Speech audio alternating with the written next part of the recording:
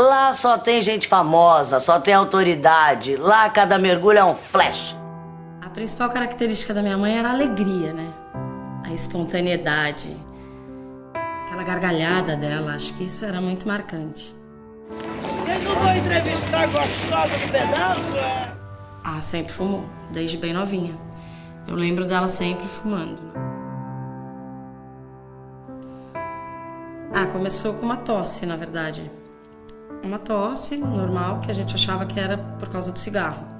Só que essa tosse foi persistindo, persistindo. Aí a gente começou a investigar. É, aí ela foi diagnosticada com DPOC.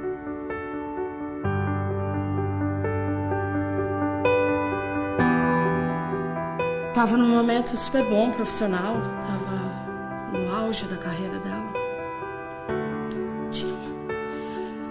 Tinha muita coisa para viver, sem dúvida. Em primeiro lugar, eu digo não fume. Mas se você fuma ou se já fumou, fica atento. É, é bem o que a campanha fala mesmo. Escute o seu pulmão. Porque, de verdade, se você conseguir um diagnóstico precoce, a possibilidade de você prolongar e ter mais qualidade de vida é enorme. Talvez se minha mãe tivesse sabido antes, ela tivesse aqui.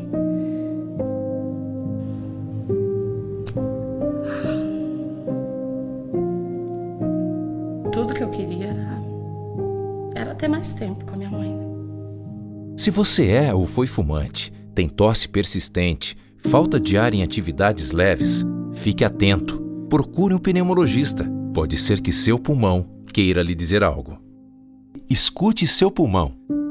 Uma campanha da Sociedade Brasileira de Pneumologia e Tisiologia, com apoio GSK. Para saber mais, acesse o site e siga nossa página nas redes sociais.